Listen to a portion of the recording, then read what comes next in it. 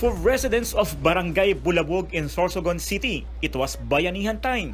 Neighbors helped out in raising back a damaged store. More than 20 families here have lost their livelihood due to Typhoon Tisoy.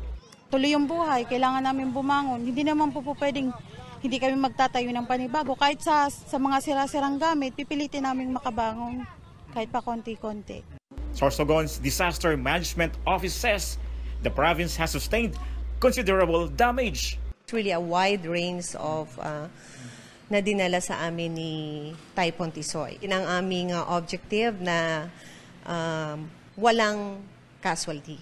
Officials project agricultural damage at 640 million pesos, with 12 million pesos worth of livestock destroyed, and the fishery sector losing 14 million pesos.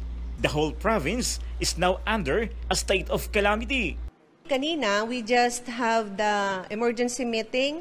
So upon uh, the gathering of the initial or partial assessment report, we the good governor declared al- already the state of calamity. In Albay, fierce winds and heavy rains lasted for almost 12 hours, bringing floodwaters into some parts of Legazpi City. Trees were uprooted and structures were heavily damaged. Romanic went home only to find his house in shambles, but his small store was spared by the typhoon. Ito lang talaga yung hindi ko napagandaan kasi inipit ko lang. Eh, sobrang lakas talaga ng hangin.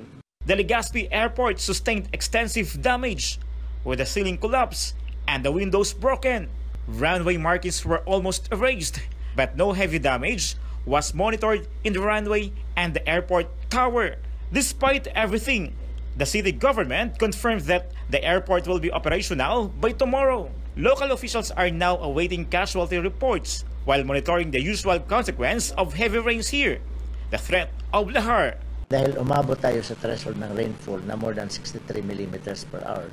Kapag umabot ka sa 60 millimeters per hour na rainfall, kahit hindi tingnan ang river channel, may lahar flow yun.